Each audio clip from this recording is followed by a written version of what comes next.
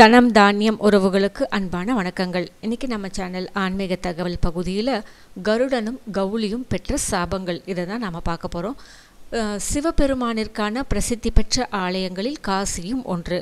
காசியில் கருடன் பறப்பதில்லை. அதே போல் கவுளி அதாவது பல்லி சொல்வதில்லை.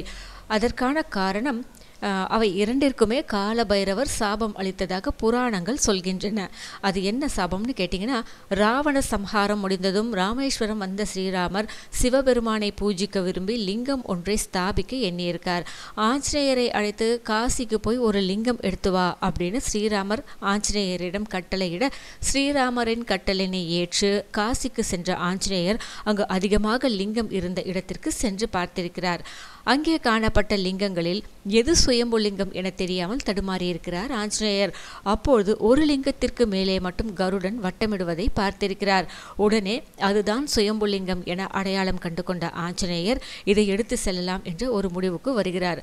அந்த நேரத்தில் கௌலி அதாவது பல்லி ஸ்ரீரா ஆஞ்சநேயர் எண்ணியதை சரி என்பது போல சப்தமிட்டு ஆமோதித்திருக்கிறது. சுயம்புலிங்கத்தை எடுத்துக்கொண்டு ஆஞ்சநேயர் வெளியே வரும்போது காலபைரவர் இது என் கட்டுப்பாட்டுக்குள் உள்ளது. என்னை கேட்காமல் நீ எப்படி இதை எடுத்து செல்லலாம்? அப்படின்னு தடுத்திருக்காரு.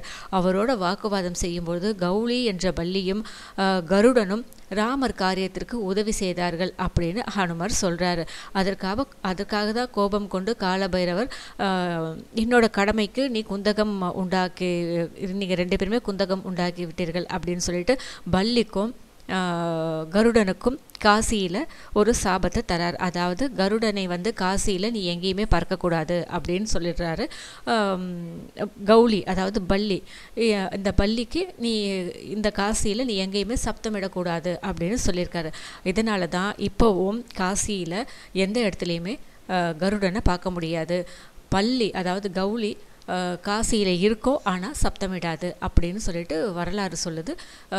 இப்போவும் வந்து அங்கே போயிட்டு வரவங்க இதை தான் சொல்கிறாங்க இந்த செய்தி உங்களுக்கு ரொம்பவே பிடிச்சிருக்கும்னு நினைக்கிறேன். இந்த சேனலை சப்ஸ்கிரைப் பண்ணுங்கள் ஷேர் பண்ணுங்கள் லைக் பண்ணுங்கள் தவறாமல் உங்களுடைய கருத்துக்களை எங்களுக்கு பதிவு பண்ணுங்கள் வணக்கம்.